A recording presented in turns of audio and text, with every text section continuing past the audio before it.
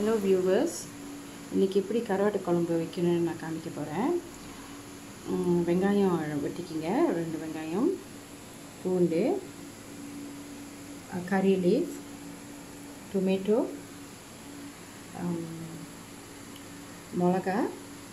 ஒரு ரெண்டு மிளகா வெட்டிக்கிங்க. உருளைக்கிழங்கு கத்திரிக்காய் கருவாடு. தாளிப்புக்கு வந்து வெந்தயம் கடுகு தளிப்பு சீரகத்தூள் மல்லித்தூள் பெருங்காயத்தூள் ஆப்ஷனல் தேங்காய் பால் அதுவும் ஆப்ஷனல் உங்களுக்கு வேணா ஊற்றிக்கலாம் வேணான்னா பரவாயில்ல. புளி கொஞ்சம் கரைச்சி வச்சுக்கிங்க. மரக்கறி வேணுன்னா நீங்கள் என்ன வேணுமோ போட்டுக்கலாம். நான் வந்து அவரைக்காய் எடுத்திருக்கேன் வெண்டிக்காய் எடுத்திருக்கேன். இப்போ வந்து இப்படி செய்ய முறை பா காமிக்கிறேன்.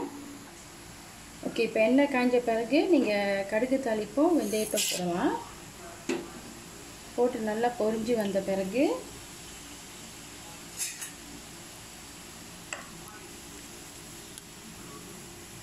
நல்லா பொரியட்டும்.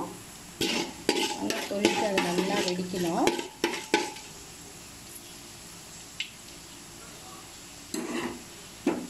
பிறகு வெங்காயத்தை போடுங்க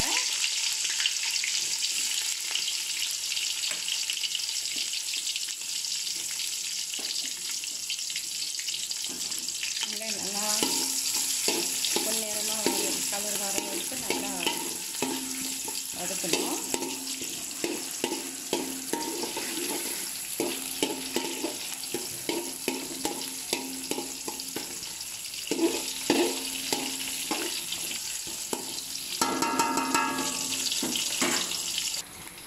இப்போ பாருங்கள் நல்லா கலர் மாறிடுச்சு. இப்போ வந்து நீங்கள் வந்து கருப்பிள்ளையை போடுங்க. கறி லீஃபு கறி லீஃபு நிறையா போட்டாலும் ருசியாக தான் இருக்கும்.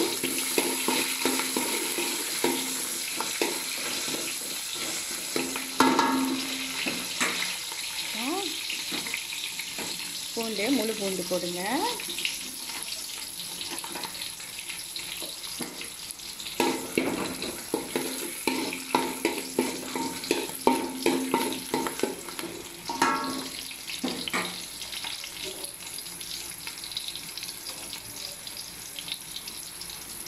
சீரகத்தூள் மல்லித்தூள் பெருங்காயத்தூள்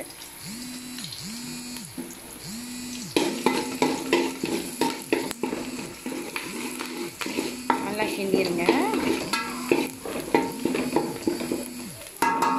நல்லா கிண்டிட்டு.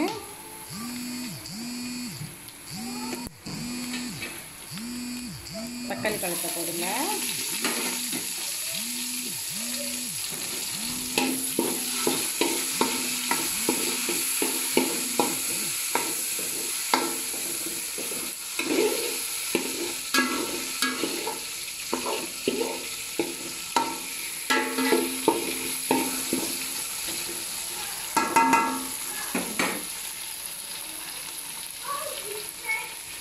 தக்காளி நல்லா வதங்கின பிறகு மிளகா போடுங்க.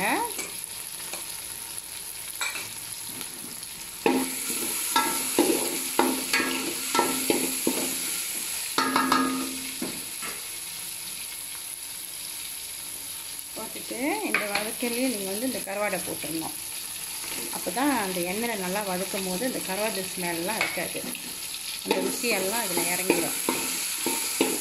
கிண்டிக்கிங்க.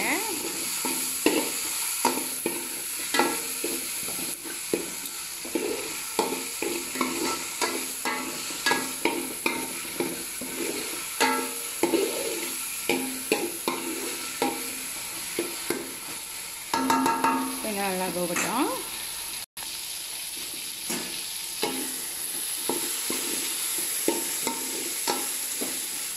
இந்த வாசம் நல்லா வருது. நல்லா அரு அருமான வாசமாக இருக்குது இப்போ வந்து இஞ்சி பூண்டு பச்சை மஞ்சள். இது மூணும் அரைச்ச விழுதுகளை இதை நான் போடணும். முதல் மெனுவில் சொல்ல மறந்துட்டேன்.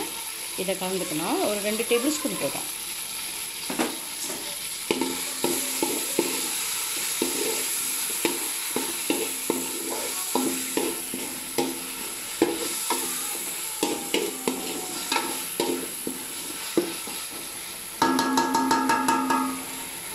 நல்லா வாசமாக இருக்குது கொஞ்ச நேரம் நல்லா வேகட்டும்.